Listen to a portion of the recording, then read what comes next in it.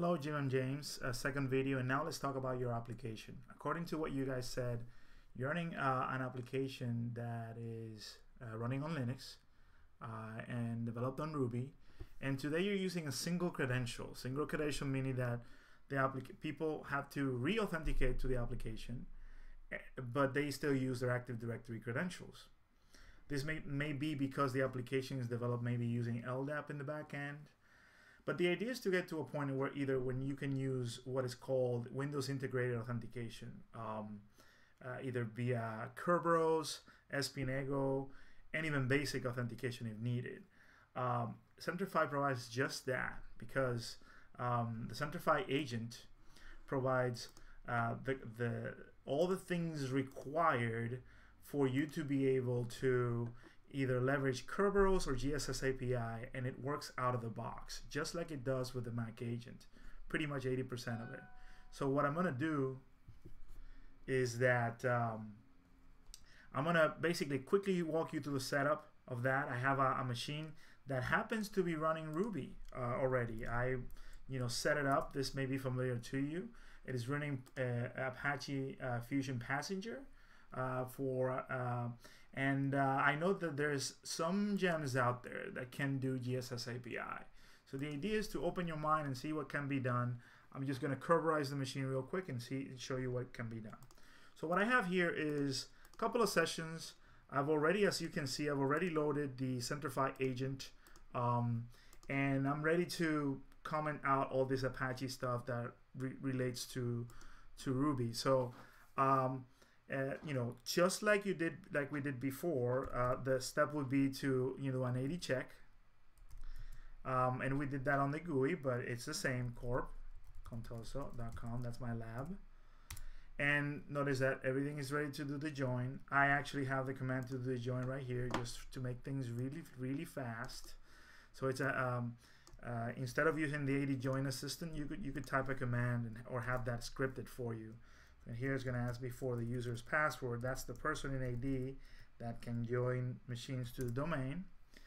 And one thing is, what you'll see quickly is that when I refresh right here, you know, my, um, you know, my send4 machine is going to be um, looking up and I'll be able to know even what OS is running. So it's running a CentOS 6.6. Okay.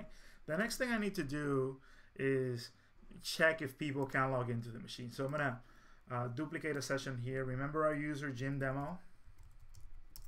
I'm gonna go ahead and try and log in and notice that you know hey I was able to log in I'm Jim demo from from Active Directory no problem uh, so what I'm gonna do now is I'm gonna set up the um, you know I'm gonna the reconfigure Apache to to be just Apache because I don't want the Ruby controller to take over uh, I'm going to set up the Apache agent and a sample application for your um, benefit. So I'm going to restart the, uh, the Apache service here. And um, if I refresh here, it just went back to plain old Apache. Okay. Uh, what I'm going to do is I'm going to put in the Centrify um, plugin, SPNEGO plugin for Apache. So it would be an RPM minus UVH and centrify DC uh, yeah, Apache there you go. So that's gonna put in basically um, all the things that need to uh, for Apache shared objects to it can use a centrify agent right? Um, now what I can do is enable the sample application and this is just, just a simple include. So I can just you know piggyback on what I've done and you know just edit the http.conf file maybe go towards the end. And I'm just going to inc include the, the Centrify samples file. And uh, you know, I'm going to restart the, the Apache service. And what you will see is that now when I go to the samples page I'm going to see the Centrify samples page. So in here you can see that I have several ways to test authentication. I could do Kerberos. Who am I? Let's do a, a clear here um, a K list. I am Jerry Seinfeld, and I have, you know, as you can see, I have uh, several several tickets here. I'm gonna go ahead and destroy them. So let's do a k list destroy. So now uh, or purge in Windows. So if I do a k list now, I get nothing. But if I want to do, let's just do the, the, the, hardest thing right away. Let's do Kerberos. Boom. Notice that I got Kerberos SSO. And what's important here is all the variables that are exposed to your developer. All this are variables that are accessible from Active Directory to make decisions, to make your application richer. That was with Kerberos. If I was logging in, maybe, uh, and I'm to go ahead and launch a different browser. Actually, you know what? Let's go ahead and go to our Mac. And, you know, I get I, our friend Jim Jim is in, in that particular Mac. And we can just go ahead and test with, you know, Centrify Mac and see what happens. So it's uh, HTTP uh, send4 corp.contoso.com slash samples. Well, let's let's verify we're running Apache here. Boom. Okay. And uh, this is again. So what's happened here is we have a uniform environment. We have Active Directory.